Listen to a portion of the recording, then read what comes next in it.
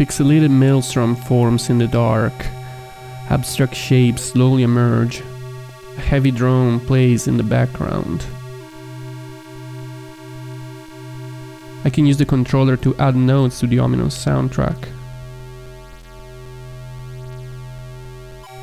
This is the first scene of Lifespan, one of the very first art games. It was designed by John O'Neill in 1983 for the Atari 800. I was aware of some games from the early 80s made with a clear expressive intent. Moondust, sometimes regarded as the first art game, was made the same year by Jaron Lanier, who later became a key figure in virtual reality and a critical voice in technoculture, and one year before, uh, Lanier programmed Alien Garden, also for Atari, with Bernie DeKoven, co-founder of the New Games movement. And then there was Mike Builds a Shelter, a 1983 arcade game by artist Mike Smith, and Deus Ex Machina by Mel Croucher. These are all obscure titles, but they are now canon in the history of art video games. However, I never heard of Lifespan before, despite the fact that it got some decent coverage at the time and it was presented by the publisher as the first video game as a work of art. The author, John O'Neill, was even saluted by the press as the Dali of computer gaming. I couldn't even find a complete Let's Play video of Lifespan, so I made this one. And I got in touch with John to get some details straight.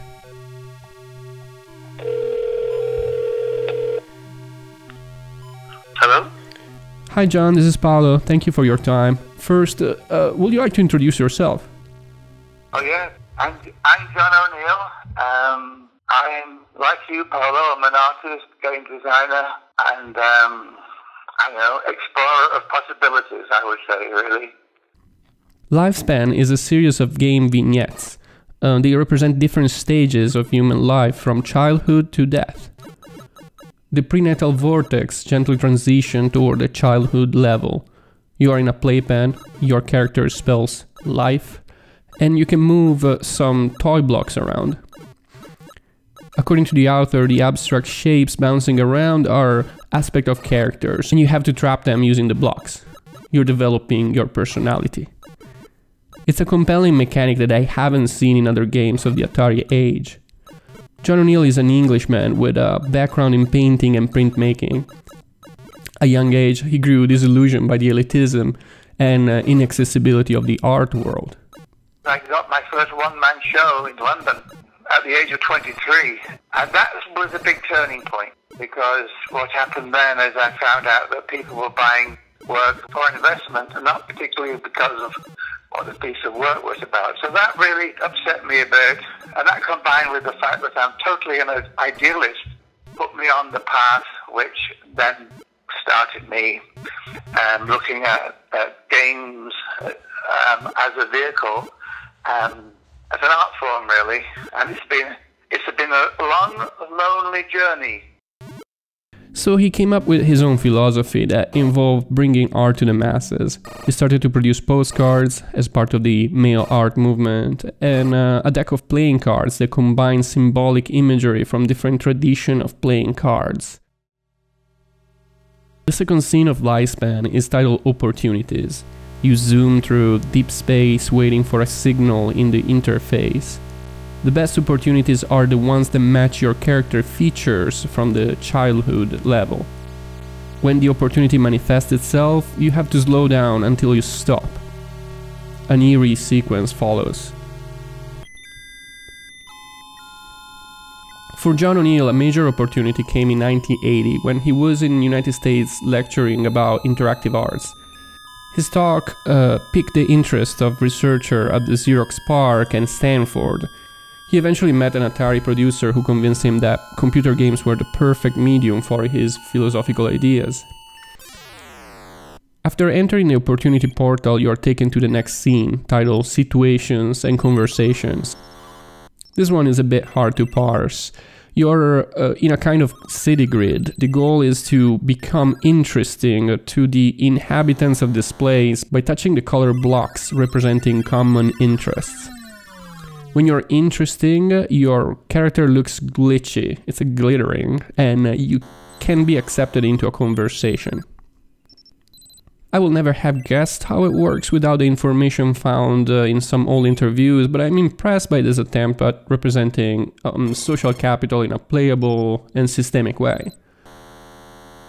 O'Neill moved to Silicon Valley and started to work for Atari. He made the graphics for ET Phone Home, which is not the infamous ET the extraterrestrial for the Atari 2600 often referred as the worst game ever. No, it was a game for the 8-bit Atari family, uh, a home computer family, and it was much better and uh, it had really cute graphics. I got appendicitis when I first got here too. So I stayed with Stuart Rosen and his wife, so I couldn't walk for about a week. And during that time, he said, he said, um, if I bring you a computer and show you how to use this animation tool, do you think you could build me some pictures of ET? So I said, okay, I'll try. So that evening he came back and he showed me with it. And the next day evening he came back and I'd done three pictures of ET. And the next day he came back, he said, Spielberg really likes these. You're the graphics person on the computer game of ET. I did that for for a few months, but and, and it's a lot, awful lot of money. It's ridiculous. to O'Neill, uh, the younger game industry appears full of potential for artists, musicians, and playwrights. But still, there was a lot of work to be done. In a 1984 interview, he claimed, quote, Most of the games so far have been done by computer people. There's nothing wrong with programmers writing games, but printers aren't the ones who write books. End quote. The fourth scene in Lifespan is titled The Experience Corridor. You have to avoid objects representing worries, fears, and doubts, while trying to hit the white bits that are representing hope. I like how your character gets partially erased by the impact, but overall this scene is brutally hard and the metaphor somewhat contrived. O'Neill claimed, In my games, I try to put as many cliché as possible so one can begin to see the cliché in one's life. By the way, this allegorical use of game tropes and mechanics is also found in more recent art slash art house indie games like Jason Rohrer Passage, uh, which is also about a lifespan, uh, or Rod Humble's Marriage, which abstracts relationships or Dysphoria by Anna Anthropy, which employs different mini games to describe different situations and uh, emotional states.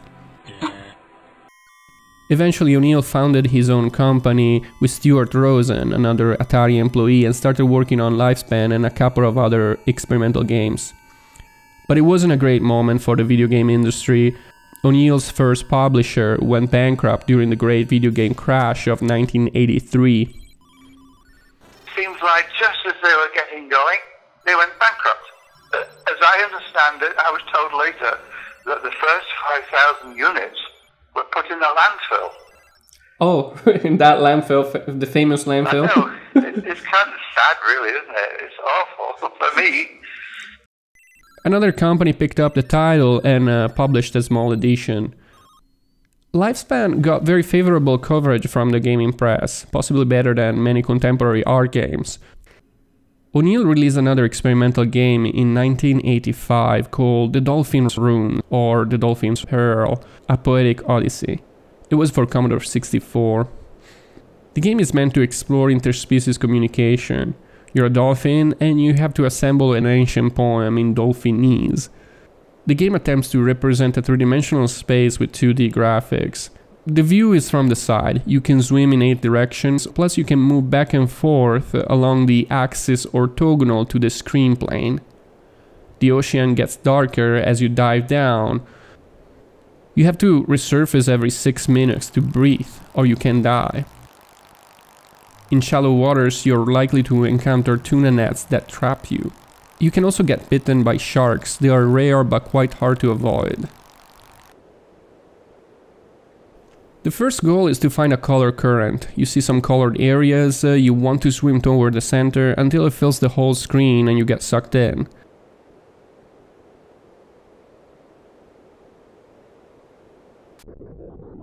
In the current you have to stay in the center following a phantom dolphin.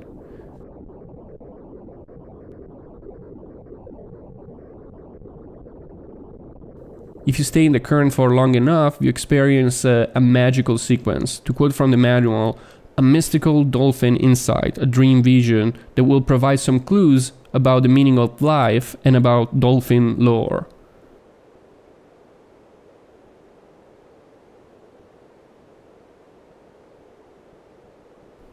John Lilly, who was known for his research into dolphin language, sensory deprivation tanks, and LSD, was a consultant for this project. And by the way, the more well known uh, Ecco the Dolphin by Sega was also inspired by Lilly's research.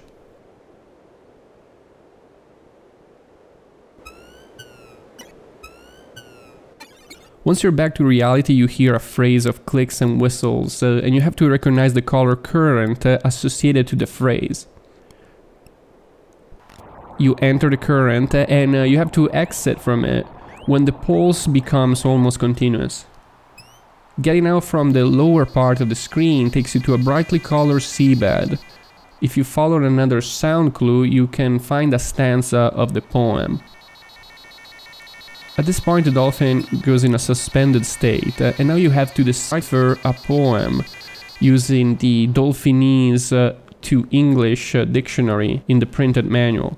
You have to put verses in the correct order knowing that some of them are really in the right place. Supposedly then you have to do it again for several stanzas and possibly even identify a false stanza.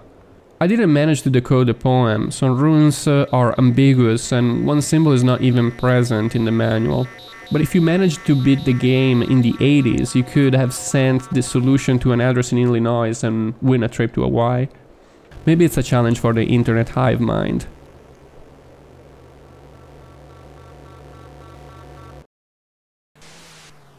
Back to Lifespan.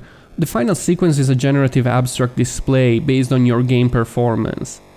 It's the electronic equivalent of a life flashing before your eyes as you die. All the scenes are accessible non-linearly, which is great because it's easy to get stuck, except for this last one, which will start automatically if you just don't interact with the title screen. O'Neill wanted this part of the game to be accessible without the challenge so that, quote, people could put it on the television screen and have a beautiful computer art display in the living room. The video game crash of 1983 had long-lasting effects in North America. Many publishers uh, went off business, and uh, John O'Neill's new projects were cancelled. After Dolphin's Rune, he worked on a game project by Timothy Leary, the prophet of LSD again, and uh, an environmentalist project called Gaia that was unfortunately for CDI, uh, which is a format that lost the competition against the CD-ROM. Today, John O'Neill is based in Nevada City, California. He teaches painting, and uh, he went back to non-digital games in the early 2000s and started a company called GameWise. His board games are still artful and trippy and uh, dealing with issues like global warming and uh, surviving under capitalism and profound philosophical issues. He's focusing on games that can deepen the understanding of the other players. I've been developing physical art games. I found that switching back to a physical game there's a lot happens between people around the table. In the game title More, you play as the visionaries of two tribes trapped in the cycle of war over territory. It has a contemplation guide to encourage meta reflection. John O'Neill might not get the prize for the creator of the first art video game by just one year, but I like to think of him as the first video game artist in the contemporary sense. He didn't just make fine art using video games as raw material like many modders or game artists starting from the late 90s. He entirely and earnestly embraced the video game form, even if it meant dealing with a troubled industry, being an oddball in a world of engineers. And John's body of work is still developing today, after over 30 years.